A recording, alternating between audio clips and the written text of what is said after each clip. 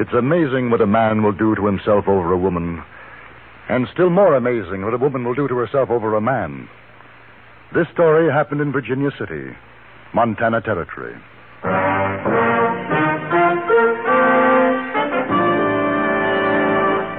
Frontier Gentleman.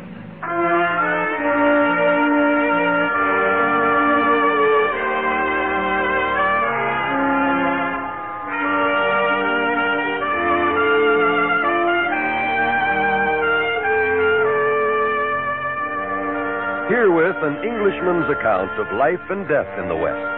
As a reporter for the London Times, he writes his colorful and unusual stories. But as a man with a gun, he lives and becomes a part of the violent years in the new territories.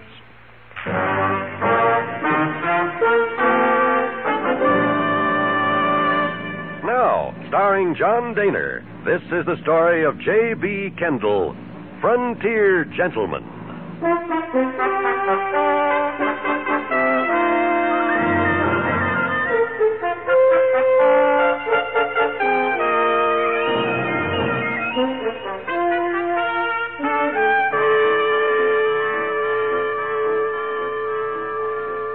City, Montana Territory, was particularly noted for three things its gold, Henry Plummer and his band of outlaws, and the vigilantes. The vigilantes disposed of the Plummers and were replaced by a more lawful authority, so that by the time I arrived, only the gold remained, and of course those who sought it, the miners. They filled the town day and night, spending their hard or easily won money in saloons, gambling houses, and hurdy-gurdy establishments. I was attracted to one of these on the night of my second day in Virginia City. It was a brilliantly lit saloon called Skinner's, and outside was a large sign proclaiming the appearance of Miss Eulalia Robinson. I went inside.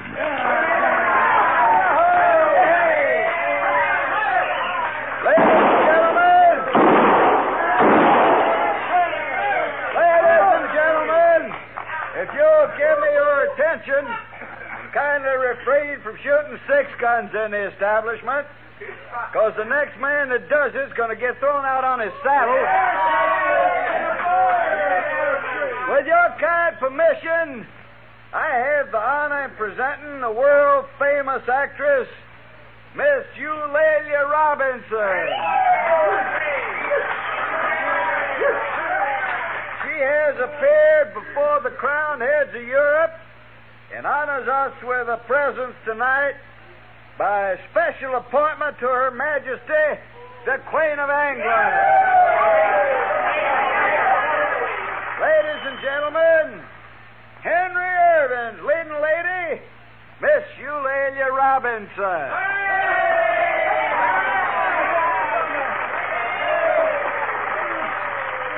For her first recitation, Miss Robinson will give us a scene from William Shakespeare's play, Romeo and Juliet.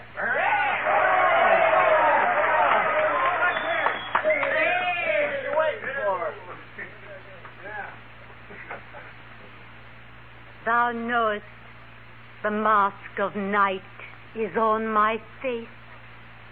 Else would a maiden blush bepaint my cheek. For that which thou hast heard me speak tonight. Fain would I dwell on thorns. Fain, fain She was in her late thirties. Not a good actress, not even beautiful. But her manner, the dignity of carriage, created an illusion of beauty which captivated her audience.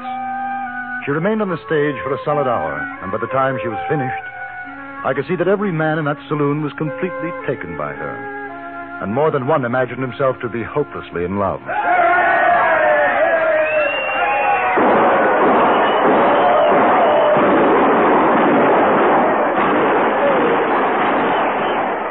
Boy, ain't she something. Now that's what I call a woman. Hey, where you going? I want to her. Who? Hey, partner, wait for me. Mr. Skinner? Yeah? My name is Kendall. What? Uh, Kendall. Kendall? Yes, that's right. I'd like to meet Miss Robinson. Yeah, you and a hundred more will tear the place down. Now, I'm a correspondent for the London Times, uh, newspaper. Newspaper man. Yes. Uh, sure, come on, duck under here. How'd you like it? That's real culture, huh? Well, she's quite a success. Yes, she sure is. What uh, what paper do you say you write for? London Times. Was that so? Well, Miss Robinson will get a kick out of that. You and her both coming from England. Yes? Come in. Oh, that was just fine, Miss Robinson. Real fine. Say, this Mr. Kendall. He writes on the London Times. Mr. Kendall. How do you do? May I present my business associate, Mr. Grimes? How are you? Grimes? I guess you folks have plenty to talk about. I'll go on back and get the boys quieted down. Virginia City never heard anything like you gave us tonight, Miss Robinson. Oh, thank you, Mr. Skinner. Not at all. I'll see you later. Well, won't you sit down, Mr. Kendall? Oh, wait a minute. Uh, Kendall, you got uh, identification or something? Proving you're a correspondent? Um, not on me, no. I don't think it really matters. Well, it does to me. You know what I mean, Kendall. Miss Robinson is popular. A lot of fellers like to come busting in and make any excuse, you know what I mean. I gotta watch out for her interests. I understand. And she's kind of tired right now. Why don't you let her go till tomorrow? If you would rather, Miss Robinson? No, not at all. I'd rather enjoy being interviewed tonight. And I say it's not a good idea. You're being extremely rude, James. Perhaps you'd care to take supper with me, Mr. Kendall. Why, I'd be delighted. No, No? no, no, she's not gone. I hope you'll forgive him, Mr. Kendall. He thinks that every man who looks at me is thinking dire and dreadful. My intentions are completely honorable, Mr. Grimes. Laley. I don't want to discuss it anymore, James. Now, both of you, please wait outside. I must change my clothes. I shan't be a moment, Mr. Kendall.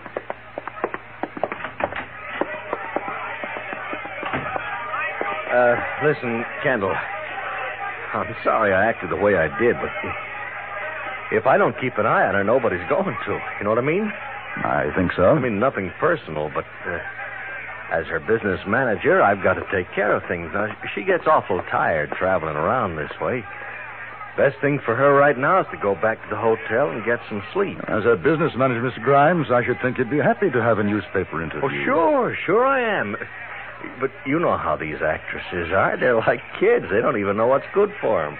I hadn't been aware. Well, take my word for it. So you go on ahead. Now, I'll, I'll tell her you see her tomorrow. Under the circumstances, I'm afraid she'd think it was rather impolite, don't you? Uh, why not wait until she comes out? All right, we'll make it tonight. A nice quiet supper at the hotel, three of us. Mr. Grimes, I get the distinct impression that for some reason or other you don't want me to be alone with Miss Robinson. Am I right? I'm her business manager, so you said. and she doesn't talk to anyone unless I'm around. Strange, I got the impression that she didn't want you around. I don't care what you think. I'm coming along. If you don't like it, no interview. There. That didn't take long, did it? Are we ready, Mr. Kendall? Yes? Laley, you're going back to the hotel. Good night, and- James. I'll see you in the morning.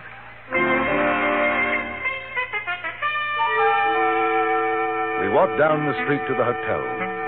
She talked about some of her experiences in the territory, rather nervously, I thought, seeming almost deliberately to avoid her background of successes in England. I ordered champagne with dinner, and I could see that rather than making her feel more at ease, the drink only increased her anxiety.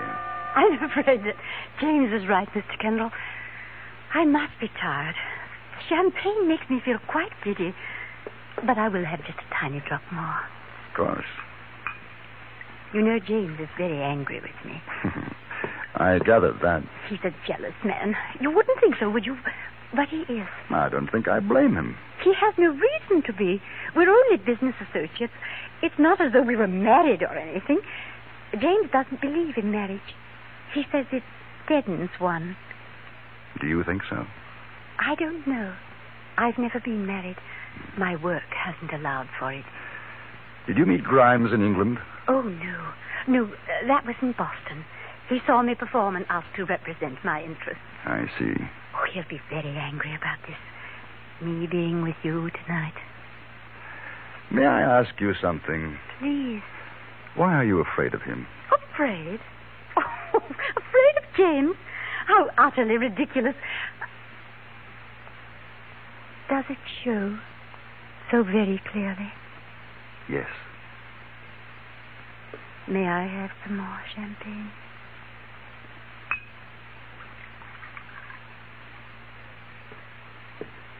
You know I'm not English, don't you? Yes. I never played with Henry Irving. Never saw England. Never did any of the things they say I did. I didn't think so. By appointment to Her Majesty. James thought that sounded fine. He took it from a bottle of Scotch whiskey. Do you know what I am, Mr. Kendall? I'm a liar. My whole life is a lie. I'm not even a good actress. I was completely charmed by your performance. How sweet. How gentlemanly and nice you are. Mr. Kendall, you're terribly attractive. You're the most attractive man I've ever met. No. No, that's not true. My husband was the most attractive man. You see, I lied about that, too. You are married. I was. James is always afraid I'll tell someone. Why? Well, the, the marriage didn't end very nicely. Why do you tell me?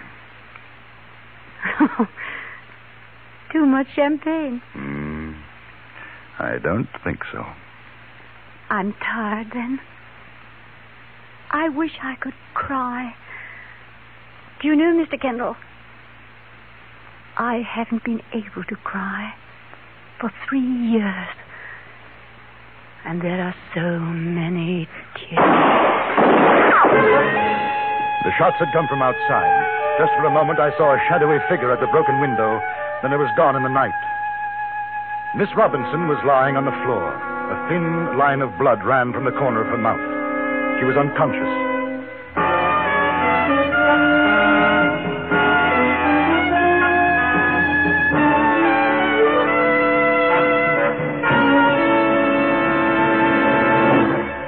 Moment, we return to Frontier Gentleman. Today on CBS Radio's Suspense, Vanessa Brown and Jim Ameche will co star in Affair at Loveland Pass, a Western thriller with a psychological twist. Exciting dramas waiting for you, too, on yours truly, Johnny Dollar. Join us on most of these same stations later today as action packed stories come your way on CBS Radio's Suspense and yours truly, Johnny Dollar. And now we return you to the Antony Ellis production of Frontier Gentleman. I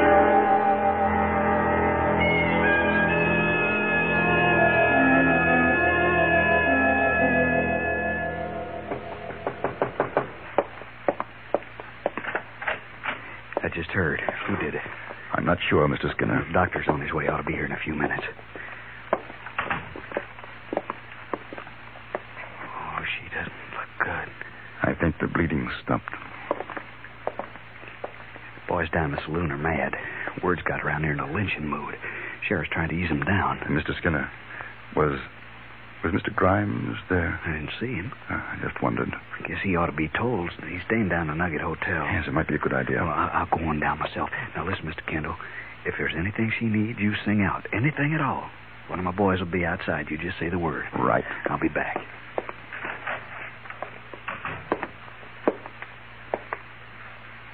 What a strange feeling. Miss Robinson, No pain at all. I've always thought there would be. the doctor is coming. I don't really mind, you know. Don't talk. Funny. I never believed him. He always threatened to do something like this. Dr. Todd, where's the wound, please? Oh, mm-hmm. Uh, kindly wait outside, sir. Yes.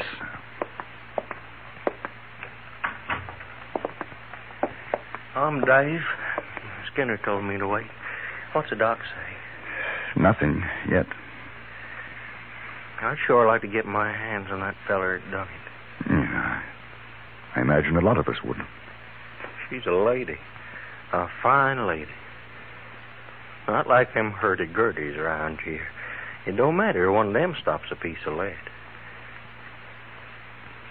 She real bad hurt? Pretty bad. You figure it was some crazy liquored up son of a gun, don't you? I, I don't know if he was drunk or not. I mean the fellows would come to see how the lady is. We don't know yet. There's more downstairs. We just wanted to know we're going to get the son of a gun to Dry Gulch, sir. Doc Todd come yet? He's in there now. Well, you give him this. There's $300 of better gold dust than that. You tell Doc he pulls her through, he'll get another like it. The boys wanted to know they're with her. Sure do. I'll tell her. You do that. Uh, I got a couple of dollars. That goes for me, too. Give it to the doc. I will. Uh, I can't operate yet. She's lost too much blood. She gonna be all right, huh, Doc? Don't ask fool questions, boy. I'm not God. Right now, she's asleep. Well, you're you're Kendall, aren't you? Yes. Lucky for her you were around. If she'd lost any more blood, she'd be dead. Well, you might as well get some shut eye. I'll stay with her.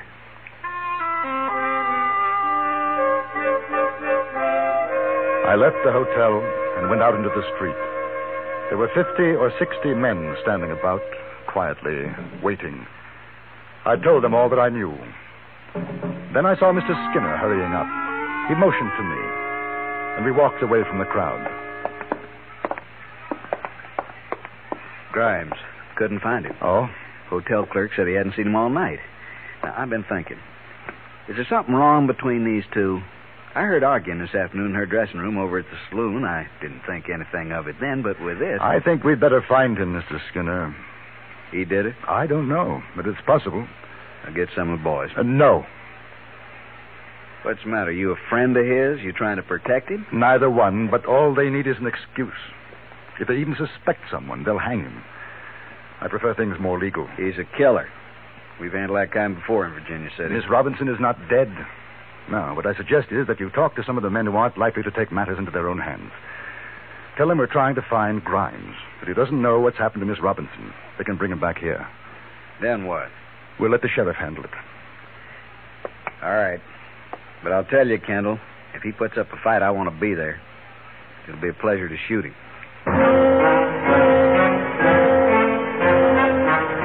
The search began.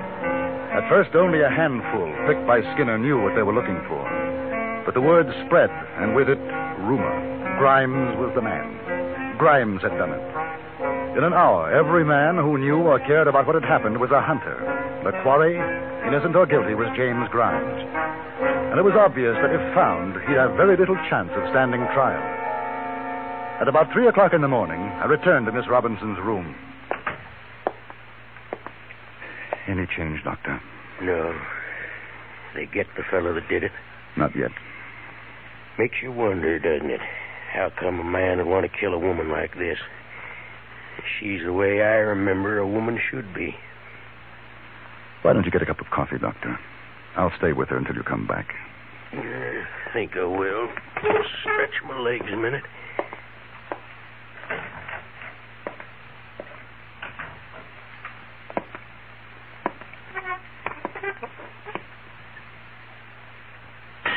Huh, what? Turn around, Kendall. Don't move.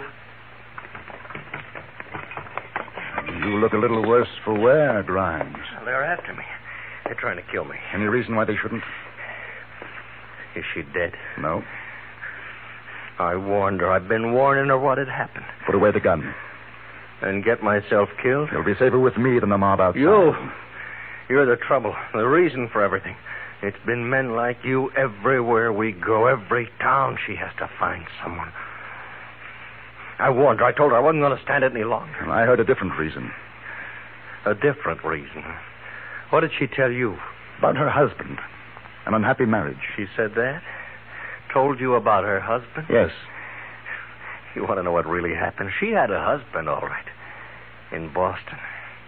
I didn't know it at the time. I met her. I fell in love. She went away with me. After we were married, she told me. She. She is your wife? Surprising? Look at her. It's another one of her little ways. She thinks it's better if people don't know. She thinks I don't know why she wants it that way. I guess you could say we killed her husband. He committed suicide after she left him. Oh, you, don't know. You don't know what it's been like. But I told her what I'd do if she went after another man. I'm sorry. No. It doesn't matter anymore. I hope she dies, then I won't have to feel these things. If she dies, they'll hang you. Yeah. Hmm. Mm. James? Laylee. I'm sorry, Laylee. Such a jealous boy. I never meant Oh, anything. Don't. Don't, Laylee. I like to flirt. That's all. A woman likes to flirt. It doesn't mean anything. Mr. Kendall knows that. Can't you stop acting? Even now, can't you stop? Listen to him, Mr. Kendall. Has he been telling you what a terrible woman I am? I suppose it's true. But you're not much of a man, James. Laylee. You don't have to listen to this, oh, I'll Grimes. kill her. Come outside. Kill no, her. no, uh, you don't. Give me the gun. Give me the gun. Laylee. Laylee. She's dead.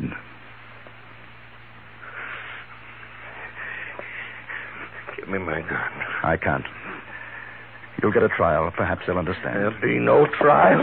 Now, Grimes, come back. Grimes. Grimes!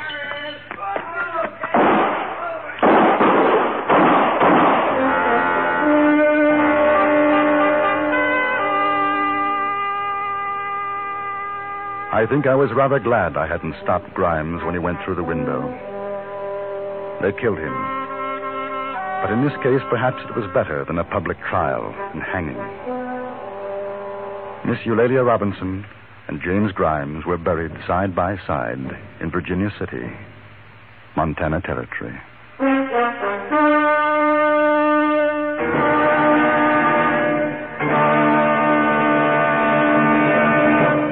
Frontier Gentleman was written, produced, and directed by Antony Ellis and stars John Dehner as J.B. Kendall.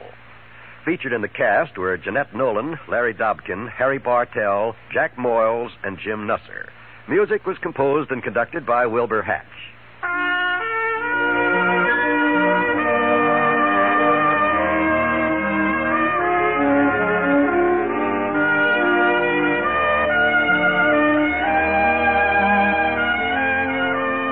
Now stay tuned for the Ford Road Show to be followed by the CBS News over most of these same stations. Join us again next week for another report from the Frontier Gentleman. John Wall speaking.